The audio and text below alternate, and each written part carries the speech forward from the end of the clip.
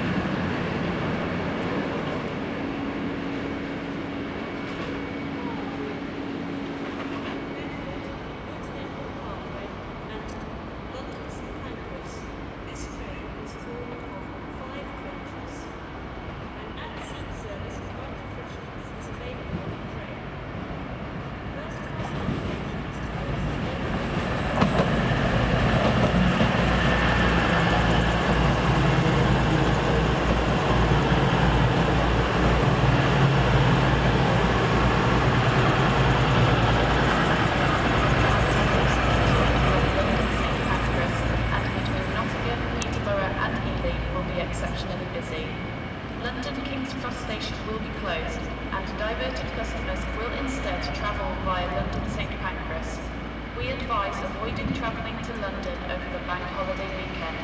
If you do travel, allow extra time to complete your journey, as